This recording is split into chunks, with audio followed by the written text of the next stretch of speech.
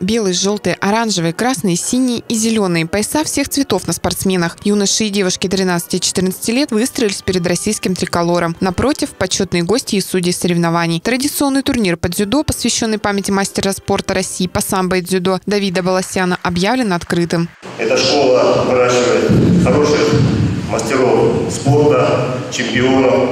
Я надеюсь, что кто здесь участвует в этом турнире, э, возьмет эстафету Хочу пожелать вам, конечно, удачи и самое главное добиться самых высоких результатов.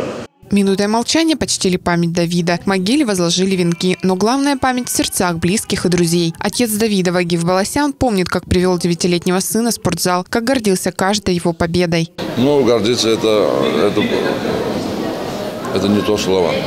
Это гораздо больше было.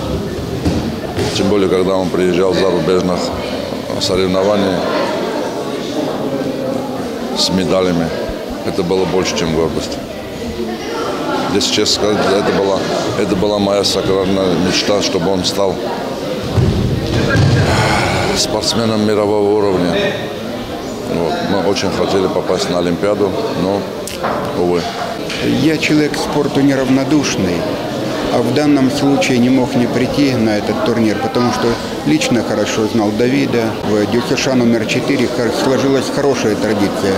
Здесь помнят и чтут память о выдающихся тренерах, о выдающихся учениках. Надо помнить хорошо прошлое с тем, чтобы в будущем добиваться хороших результатов. Лучшие воспитанники спортивной школы получили награды и денежные премии. Победители первенства мира по самбо среди молодежи Елена Брылякова и Кристина Усова. Серебряный призер первенства России по самбо Руслан Аскеров. Очень приятно было, что наша школа не забывает, что с таким трепетным отношением к нам относятся.